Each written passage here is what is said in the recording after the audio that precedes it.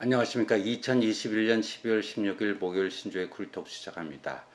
국민의힘의 윤석열 후보가 배우자인 김건희 씨 문제로 요 며칠 굉장히 곤욕을 치르고 있습니다. 그런데 오늘 아침 조선일보가요 단독으로 보도하고 있는 기사가 아, 매우 눈에 띕니다. 이재명 민주당 후보의 장남인 29살 이모 씨가 상습 불법 도박을 해왔다. 이런 의혹이 제기됐다라고 합니다. 그런데 이 모든 의혹에는요, 의혹을 제기할 수는 있는데 거기에 의혹을 제기할 만한 합당한 구체적 근거가 있어야 되는데 이 기사를 읽어보면요, 이 사람이 이재명 장남이 맞구나 하는 아, 확신을 가질 수밖에 없는 그런 빼박 근거들이 에, 이 조선일보 취재진에 에, 포착이 된 것 같습니다. 미국의 서버를 두고 있는 한 온라인 포커, 이 포커 카드 트럼프 뜬다고 그러죠. 아, 포커 커뮤니티 사이트가 있는데 그 게시판에 이기고 싶다, 이기고 싶다. 그러니까 도박에서 이기고 싶다, 도박 게임에서 이기고 싶다. 이런 닉네임. 음, 그러니까 이제 거, 기에 자기 본명을 쓰지 않고 자기 닉네임으로 이제 글을 올리고 그러지 않습니까? 이 이기고 싶다라고 하는 닉네임으로요. 2019년 1월부터 그러니까 재작년 1월부터 2020년 7월 작년 7월까지요. 아, 이기고 싶다라는 닉네임이 한 200여 개의 글을 올렸다고 합니다. 근데 이 서버만 미국에 있죠. 사실상 이 한국인들이 도박하는 비율이 비교적 높습니다. 그래서 서버만 미국에 두고 사실상 한국인이 운영하는 아, 그 도박 사이트가 아닌가 싶은데 에, 여기에 에, 200여 차례 에, 2019년 1월부터 작년 7월까지 글을 올렸다 하는 겁니다. 그런데 그 글을 200여 개의 글을 보면요. 자신이 어떤 식으로 활동하고 있는지 또 자신이 어, 떤 체험을 했는지 이런 경험, 도박 경험들을 에, 아주 구구절절히 적어 놓았는데 거기서 보면 이게 불법 도박을 했구나, 불법 도박을 했구나 하는 정황이 에, 포착이 되고 있습니다. 그래서 예, 그래서 이게 만약에 사실이라면 아, 이거는 현행법 위반이다. 게임 산업 진흥에 관한 법률 위반이다. 그 다음에 재작년 1월부터 작년 7월까지 한 행위이기 때문에 공소시효도 살아 있습니다. 그렇다면 에, 이재명의 장남은 불법 도박 혐의로 아, 형사처벌될 수밖에 없겠다 하는 겁니다. 그런데 이 이기고 싶다라고 하는 닉네임이 이재명의 장남인지 아닌지 에, 보니까 에, 장남일 수밖에 없다. 아, 장남으로 추정할 수밖에 없다. 이게 네 가지 에, 근거가 있는데요. 그 해당 사이트, 그 도박 사이트도 밝힌 자신의 이메일 주소, 이메일 주소 앞부분 13자리를 보니까요. 13자를 보니까요. 예, 이 이재명 장남이 이용하고 있는 인스타그램, 인스타그램에 아이디하고 동일하더라. 보통 우리가 아이디를 만들 때 여러 개를 만들지 않고 하나를 만들어서 이메일 아이디로도 쓰고 무슨 다른 인스타그램이라든가 뭐 페이스북이라든가 이런 SNS 아이디로도 쓰고 그렇지 않습니까? 그러니까 그 도박 사이트에 올라온 이기고 싶다의 이메일 앞자리 열쇠 자리가 에, 이재명 장남이 실제 에, 하는 자신의 실명을 걸고 하는 에, 인스타그램의 에, 아이디하고 동일하다. 이게 이제 첫 번째 근거고요. 두 번째 근거는요. 이 이기고 싶다가요. 2019년 1월부터 이제 사이, 그 도박 사이트에 글을 올리기 시작하지 않았습니까? 그런데 그 글 중에 이런 글이 있습니다. 2019년 7월에 올린 글 중에 인턴 4개월 차 지각했다.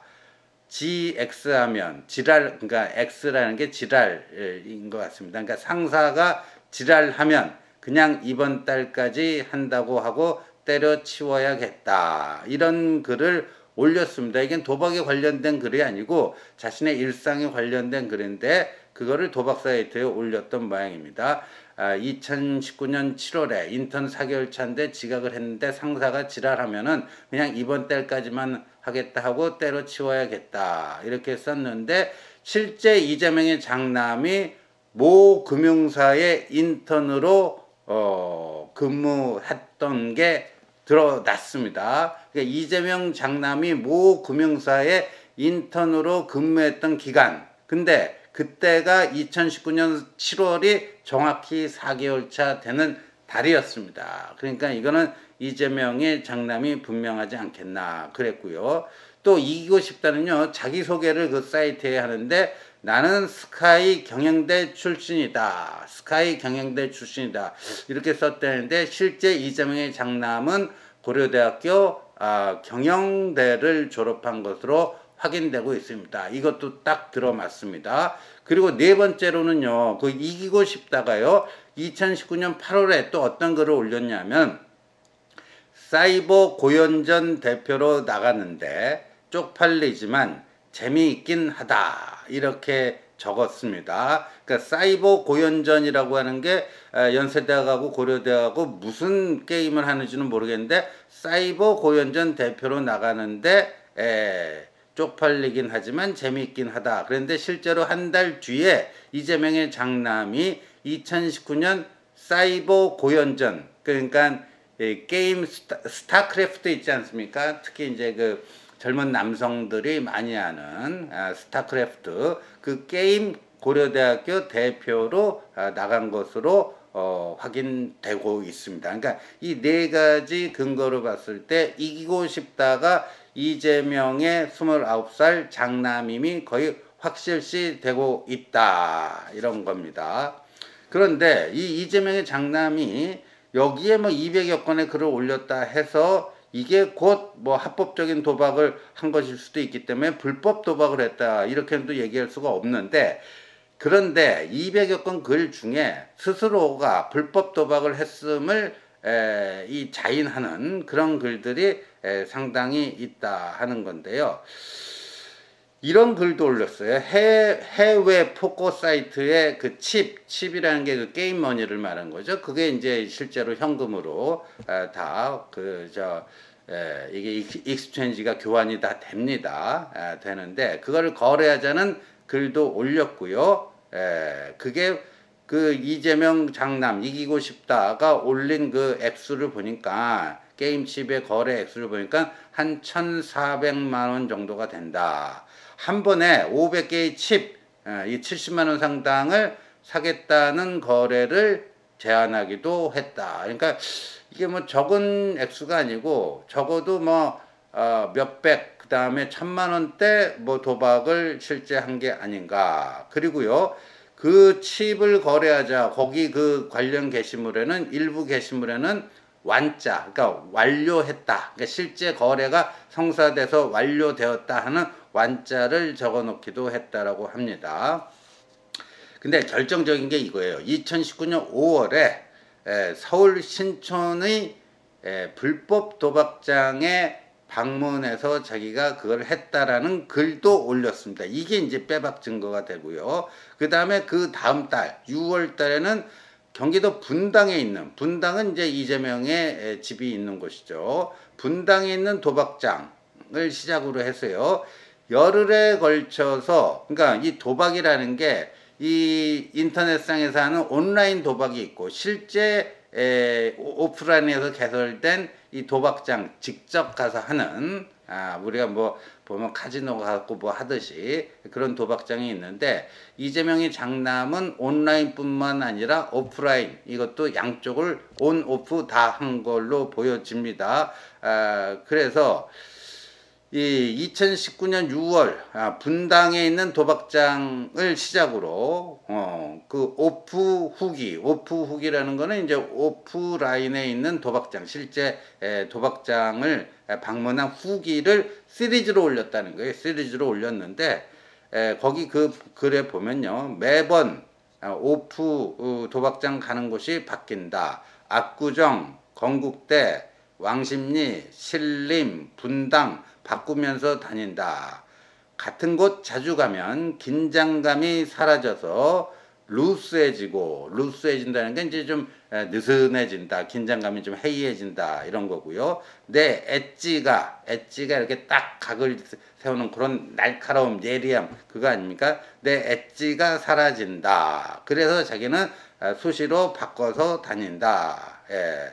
그러면서요 이런 불법 도박장에 한 열흘 동안 다녀서 536만 원을 땄다고 자랑 삼아 또 글을 올리기도 했다라고 합니다. 아, 자랑 삼아 올리기도 했다라고 합니다. 그리고 그 올린 글에 보면 처음 시작은 2주 정도의 good run, good run이라는 건 뭔가 이제 잘, 에, 음, 잘 달렸다 하는 거죠. 에, 그래서 플러스 550 정도로 땄어. 그러니까 한 550만 원 정도 땄다라는 거고요. 또 이런 글도 있어요. 하지도 않던 토토 사이트에서 파워볼 홀짝으로 마이너스 500 찍었어. 이거는 500만 원을 잃었다는 얘기겠죠. 예, 500만 원 잃었다는 얘기고요. 그 다음에 그러니까 포커 이외에도 여러 가지를 했구나 하는 거고요. 그 다음에 금액 제한이 음, 없는 아, 그 불법 이건 완전 금액 제한도 없고 불법인데 파워볼 홀짝 게임 이 파워볼 홀짝 게임 이 토토 사이트에 있는 거 어, 여기서 500만 원을 날렸다. 이거는 뭐 이게 불법 도박이라는 게 너무도 명백한 거고요. 그리고 이런 글도 올렸어요. 난 포커 어, 플레이어라고 생각했는데 사실 까보니까 도박꾼에 지나지 않았던 것 같아. 그러니까 자기 스스로를 도박꾼, 도박꾼이다 또는 도박 중독자다 이렇게 지칭하기도 했다라는 거죠. 예. 그리고요 2019년 5월이라는 이런 글도 올렸어요. 회사에서 여유 있을 때 예, 온라인 도박을 하려고 했는데 상사랑 대화하고 있는데 자기 책상 앞에서 상사랑 대화하고 있는데 자기 그 컴퓨터 모니터 화면에서 갑자기 온라인 도박 파, 도박 팝업 창이 갑자기 떠가지고 당황한 적이 있다. 그러니까 직장에서도요, 직장에서 그 옆에 사람들 에, 자기 쳐다보지 않을 때 그 아름아름 그 또 어, 온라인 도박을 했다라고 하는 에, 이실직고도 하고 있습니다. 에. 그래서 조선일보가 이런 정도면 거의 완벽한 취재다 이렇게 보여지는데요. 어, 이재명 아들에게 해명을 요청했더니 이재명 아들 왈 아버지나 캠프에 연락하는 게 좋겠다. 아니 자기 개인 신상 문제인데 본인이 뭐 기다 아니다 팩트 확인을 하면 되지 어, 이 권력자인 에, 자기 아버지나 에, 캠프에 연락하는 게 좋겠다. 에, 그래서 다시 이재명 캠프에 문의를 했더니 사실이 확인될 경우 국민에게 소상히 설명드릴 것이다. 이런 반응을 나타냈다고 하고요.